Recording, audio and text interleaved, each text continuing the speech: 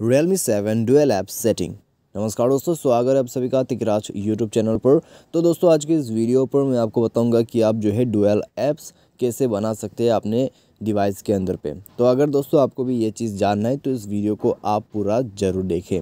Video देखने के बाद दोस्तों, आपको पता चलेगा कि डुअल ऐप भी हम इस मोबाइल से बना सकते हैं। ठीक है?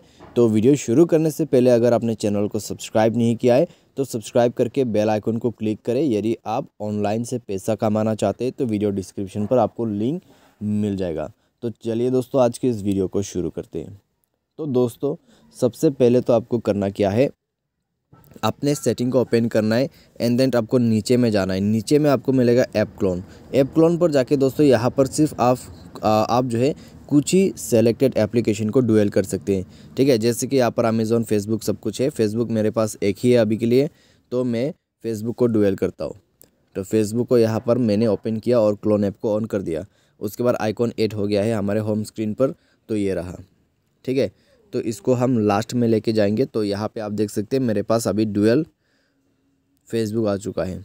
ठीक है तो इसको भी हम यूज़ कर सकते हैं और नीचे वाले को भी यूज़ कर सकते बिल्कुल आसानी से।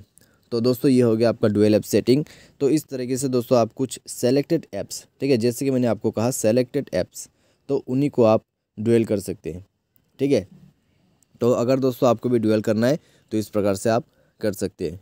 सारे साथ दोस्तों, हम ऐप्स को डुअल करने के लिए पैरेलल स्पेस भी यूज़ कर सकते हैं, लेकिन हमारे डिवाइस के अंदर पे ये डिफ़ॉल्ट सेटिंग हमें मिल जाते हैं। तो आज के इस वीडियो पर बस इतना ही।